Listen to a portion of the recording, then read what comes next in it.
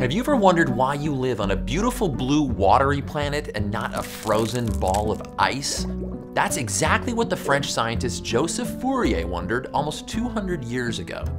He calculated Earth was far enough away from the sun that it should be much colder, way colder, like below freezing instead of warm and comfortable. Fourier noted that while sunlight can shine through the gas in Earth's atmosphere to warm the surface, the heat our planet gives off doesn't pass so easily back into space, just like how sunlight warms up a greenhouse. Fourier's simple observation came to be known as the greenhouse effect and gave birth to a new way of thinking about the world, the science of Earth's climate. In the 200 years since, we've made a lot of progress in figuring out how Earth's climate works, how it's changing, and why. But why have we had such a hard time acting on that knowledge?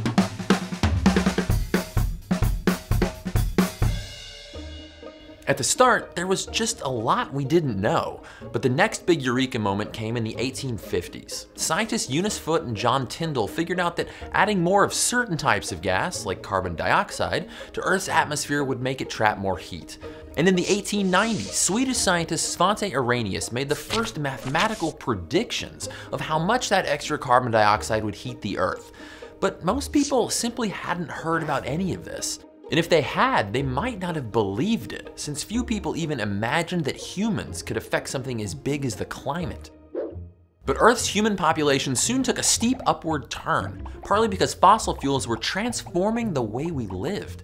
A British engineer named Guy Callendar suspected this might have a bigger impact than people thought. In 1938, he looked at atmospheric and temperature data from around the world in more detail than anyone ever had. He showed for the first time that not only was burning fossil fuels increasing the amount of CO2 in the atmosphere, but Earth's average temperature was rising in response, just like Arrhenius said it would. A growing number of scientists realized we were performing an unprecedented experiment with an uncertain outcome. They eventually gave it a name, global warming. More measurements of the atmosphere continue to tell the same story. We were adding carbon dioxide to Earth's insulating layer. That warmed the air, but we discovered that it was also changing the amount of ice at the poles, the patterns of rainfall on land, and even the chemistry of the ocean itself. So we gave it a new name, climate change. What's more, by analyzing ancient air bubbles trapped in ice millennia ago, we realized that CO2 had been the main control knob on Earth's climate for hundreds of thousands of years.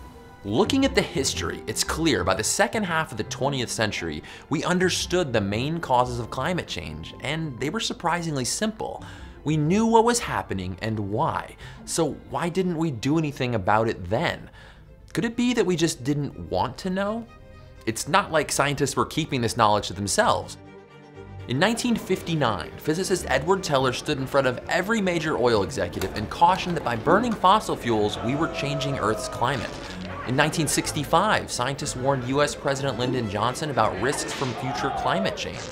But it took until 1992 for us to sign a global treaty calling for lower emissions, and we're still struggling to act today. That's partly because climate change is a big, complicated problem, maybe the biggest humanity's ever faced.